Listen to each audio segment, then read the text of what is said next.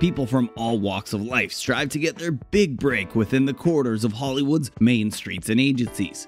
Kids beg their parents to up and travel miles across the country in order to fulfill their dreams of acting in their favorite sitcoms or films. But for some, the idea of fame is predestined. For model and actress Brooke Shields, her rise to superstardom seemed to flock to her and not vice versa getting her big break at just 11 months old, starring in an Ivory soap ad. Brooke knew since she was just an infant that her road to model heights was meant to be. Of course, it's that her mom turned manager, Teri Shields, made sure her baby, using her own connections from her socialite days, would become a force to be reckoned with. Brooke would climb the acting and model social ladder with her mom's coaching, aiding her every step of the way, with co founder of Ford modeling agency, Eileen Ford, guiding Brooke throughout the industry. Taking on minor modeling gigs here and there, it wouldn't be till the year 1975 when Brooke would cause a major uproar at just age 10 when she posed nude for Playboy's imprint magazine, Sugar and Spice. If wearing a full face of makeup while glistening in a bathtub for an adult magazine wasn't alarming enough, playing an 11 year old child prostitute in Louis Malle's adaptation of the controversial book turned film Pretty Baby just may have you clutching your invisible pearls. Her mature role as Emmeline Lestrange in The Blue Lagoon would also leave critics with their eyebrows rags and their legs crossed given the nature of the film a storyline in which two cousins become stranded on an island and end up having a baby with numerous nude scenes, filmed all while Brooke was only 14. These incidents, on top of her already controversial Calvin Klein ad, although high key concerning, propelled Shields' career from Pretty Baby to Hollywood It Girl. Knowing what we know today, people always point towards Brooke, mom manager. Teri as the sole source behind the madness that was Brooke's exploitive roles in her childhood. But maybe there's more to it than what we all may think. Let's peep inside the madness of one of Hollywood's most exploited child stars. In case you didn't know, Brooke Shields, although underrated to some, was one of the most recognizable faces in Hollywood at the peak of her career in the 80s and 90s. Coming from a string of Italian royals, she captivated the attention of millions when she starred in several ads for Calvin Klein jean commercials at age 14. Her most notable and most controversial being the ad where she states, You want to know what comes between me and my Calvins? Nothing.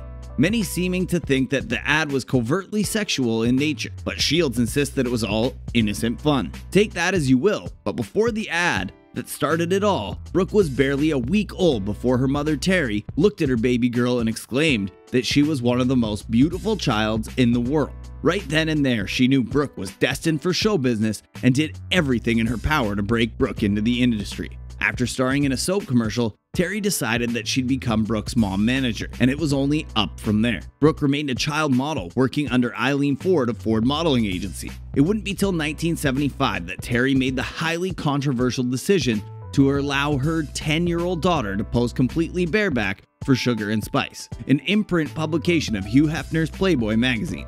In full glam makeup, accompanied by a choker and what looks like a body oil, the photos consist of Brooke posing seductively in and outside of a bathtub. Regardless of the intentions of the shoot, like you'd expect, once the racy images were published, they caused major backlash across the country, with people scratching their heads wondering how exactly the photo shoot was ever given the green light. According to New York laws, in order for a minor to pose for such publications, a legal guardian would have to sign off on the rights to the photos. With her mom manager being Brooke's legal guardian, that meant that she was the one to sign the rights away to the photographer of the shoot, Gary Gross. The disturbing shoot was first of many for Brooke. Given the notoriety she had received from the magazine spread, she'd get the opportunity to star in a movie at age 11. The subject matter, about a 12 year old Violet who resides in a brothel being optioned off to the highest bidder, is more controversial than the shoot itself. Hey, how do we know she is a virgin?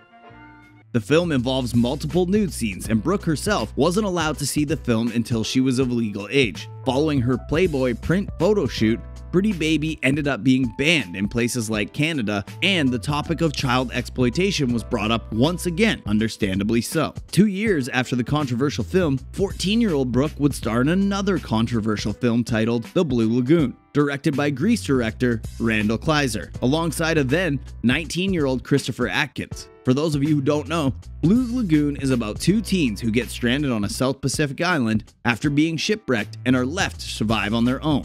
The semi bizarre coming of age film have the two leads, Brooke and Christopher, discover sex and ultimately end up having relations with each other, resulting in an island made baby.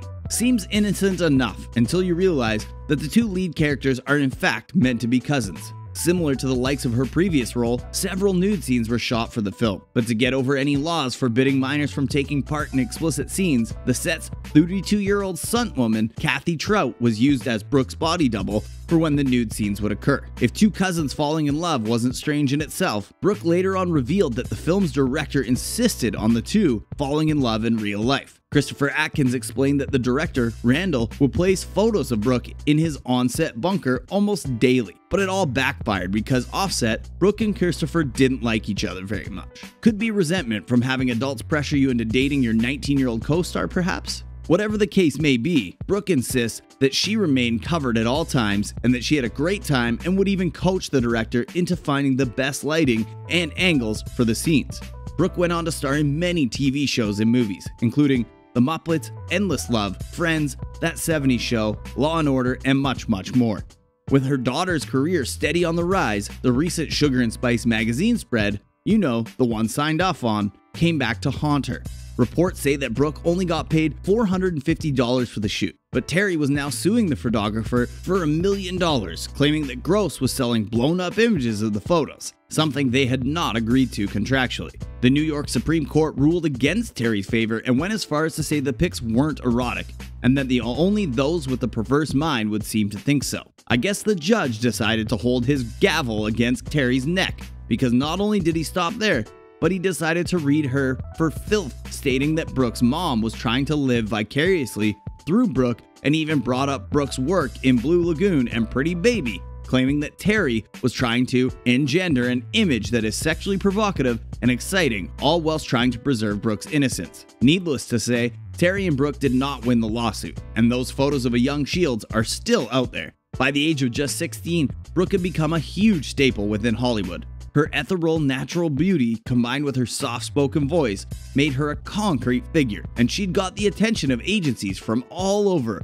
wanting to work with her. Her mother, Teri, on the other hand, had dealt with a swarm of criticism with people labeling her as a bad mother. Nevertheless, the older Brooke became the more she insisted, and her mom being the best mother she could have asked for. In between roles, Brooke, accompanied by her mom, would be escorted to nightclubs like New York's notorious Studio 54 Brooke often said that her mom made sure she was protected at all times. She'd go, have a great time, and leave escorted by her mom, yet again to make sure she always got home safe. The role of Brooke's mom's involvement in her life has been a topic of concern throughout Brooke's career. The insults and labels have stamped on her mom are anything but glorious. And from the looks of the roles she'd sign off for her daughter to take before she was old enough to know better, you'd see why.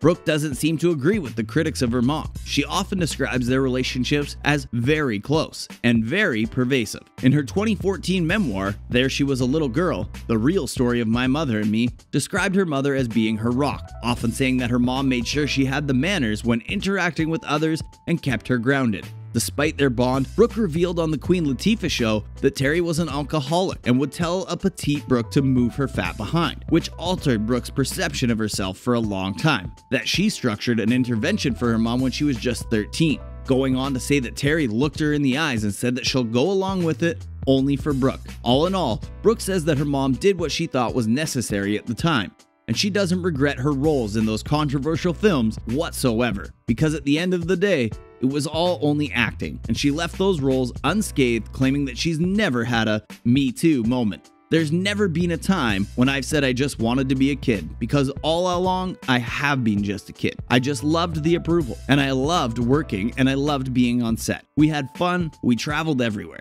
So it wasn't as if I felt the responsibility as much as, oh my god, we have to get in the car. Oh, we bought a house. We bought another house. Like if I do this, we get this. That's the way it went for decades. As long as I was happy, we kept doing it. I never did something I didn't want to do. The roles she had taken on in childhood were alarming for any parent, but for Brooke and her mom, these roles meant instant success that catapulted the now mom of two into the headstrong woman she is today. What do you think about Brooke's childhood woes? Let us know what you think in the comment section down below, and stay tuned for more true celebrity stories.